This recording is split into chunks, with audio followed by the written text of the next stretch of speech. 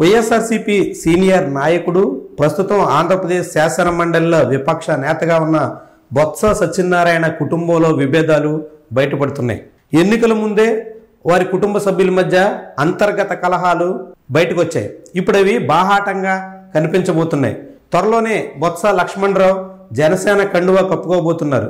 నెల్లిమర్ల నియోజకవర్గంలో బొత్స లక్ష్మణరావుకి కొంత పట్టుంది. కొన్ని మండలాల్లో ఆయన అనుచరులు క్రియాశీలకంగా పనిచేస్తూ ఉంటారు.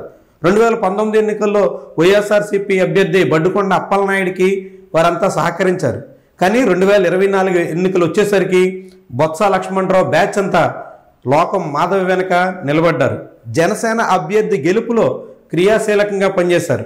ఇప్పుడు నేరుగా జనసేన కండువా కప్పుకోవడానికే సిద్ధపడుతున్నారు. కేవలం బొత్స లక్ష్మణరావు ఒక్కరే పార్టీ మారతారా? లేకుంటే ఆ కుటుంబంలో ఇంకెవరైనా పార్టీ ఫిరాయించే అవకాశాలు ఉన్నాయా? అన్న చర్చ సాగుతుంది.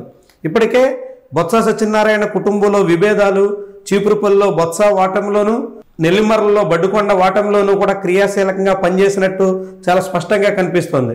ఇప్పుడు లక్ష్మణరావు పార్టీ మారితే తదుపరి పరిణామాలు ఎలా ఉంటాయన్నది ఆసక్తికరంగా కనిపిస్తుంది.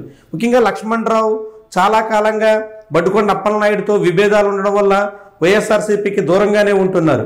ఇప్పుడు నేరుగా కండువా కప్పుకుంటే ఆ తర్వాత ఆయనకు తోడుగా ఎవరెవరు జనసేనలోకి వెళ్తారన్నది కూడా కీలకమైన అంశం. మరొకవైపు లక్ష్మణరావు ఇప్పుడు మరో వివాదంలో కూడా ఇరుక్కుని ఉన్నారు బొత్స లక్ష్మణరావు తన ఇంటి స్థలాన్ని ఆక్రమించేశారంటూ మాజీ తహసీల్దార్ ఒకరు ఫిర్యాదు చేశారు. హరిహర్రావు అనే ఒక తహసీల్దార్ విజయనగరం పట్టణ ప్రాంతంలో ఉన్నటువంటి తన ఇంటి స్థలాన్ని బొత్స లక్ష్మణరావు అతని కుమారుడు చైతన్య ఆక్రమించారంటూ ఫిర్యాదు చేస్తున్నారు. విలువైన స్థలాన్ని కబ్జా చేసి తనకు అన్యాయం చేస్తున్నారంటూ రిటైర్డ్ తహసీల్దారే వాపోతున్నారు. దాంతో ఈ వివాదం బొత్స లక్ష్మణరావు మెడకు చుట్టుకునేలా కనిపిస్తుంది. ఇలాంటి వివాదాల నేపథ్యంలోనే అధికార కూటమిలో ఉంటే సురక్షితంగా ఉంటామని బొత్స లక్ష్మణరావు భావిస్తున్నారా అన్న ప్రశ్న కూడా ఉదయిస్తుంది.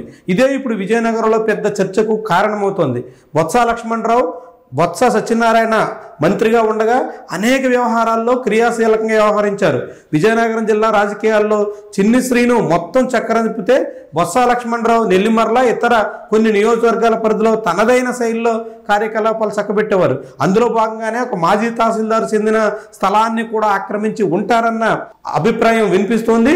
ఇప్పుడు నేరుగా బొత్స లక్ష్మణరావు మీద తహసీల్దార్ బయటకు వచ్చి ఫిర్యాదు చేసినటువంటి నేపథ్యంలో లక్ష్మణరావు జనసేన కండువా కప్పుకుంటే ఆయనకి ప్రభుత్వం వైపు నుంచి పూర్తిస్థాయి రక్షణ ఉంటుందా? లేదంటే ఆయన ఆక్రమణ వ్యవహారం మీద దర్యాప్తు చేసి శిక్ష పడుతుందా అన్నది కీలకమైనటువంటి ప్రశ్న.